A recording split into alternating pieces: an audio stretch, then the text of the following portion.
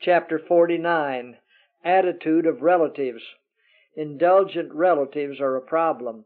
Be careful how you relinquish the government of your children to others. No one can properly relieve you of your God given responsibility. Many children have been utterly ruined by the interference of relatives or friends in their home government. Mothers should never allow their sisters or mothers to interfere with the wise management of their children. Though the mother may have received the very best training at the hands of her mother, yet in nine cases out of ten as a grandmother she would spoil her daughter's children by indulgence and injudicious praise.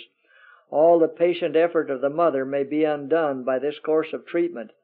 It is proverbial that grandparents as a rule are unfit to bring up their grandchildren.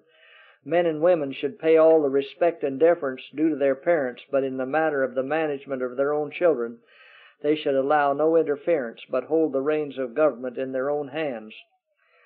When they laugh at disrespect and passion, wherever I go I am pained by the neglect of proper home discipline and restraint.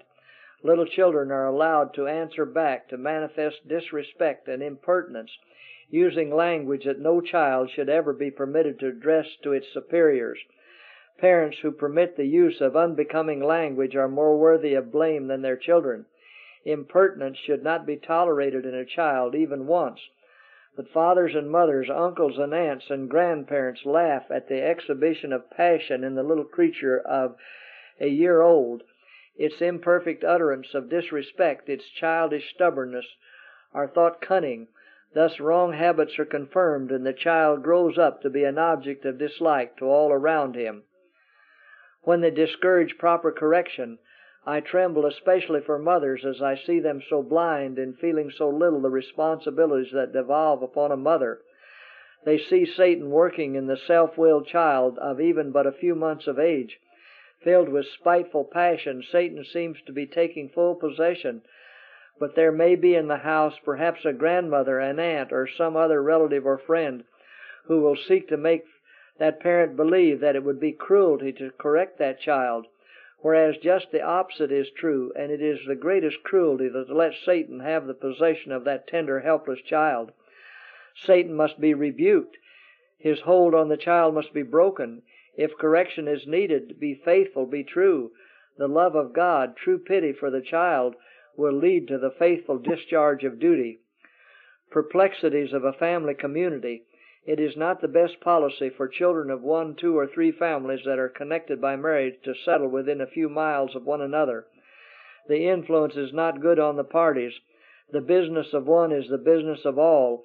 The perplexities and troubles which every family must experience more or less and which as far as possible should be confined within the limits of the family circle, are extended to family connections and have a bearing upon the religious meetings.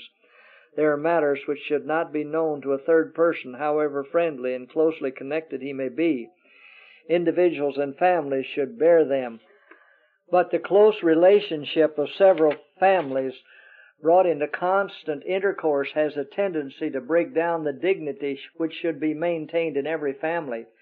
In performing the delicate duty of reproving and admonishing, there will be danger of injuring feelings, unless it be done with the greatest tenderness and care. The best models of character are liable to errors and mistakes, and great care should be exercised that too much is not made of little things. Such family and church relationship is very pleasant to the natural feelings, but it is not the best, all things considered, for the development of symmetrical Christian characters all parties would be much happier to be separated than to visit occasionally, and their influence upon one another would be tenfold greater. United as these families are by marriage, and mingling as they do in one another's society, each is awake to the faults and errors of the others, and feels in duty bound to correct them. And because these relatives are really dear to one another, they are grieved over little things that they would not notice in those not so closely connected.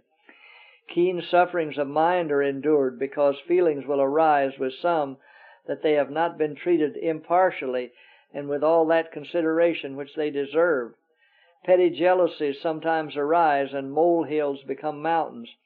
These little misunderstandings and petty variances cause more severe suffering of mind than do trials that come from other sources.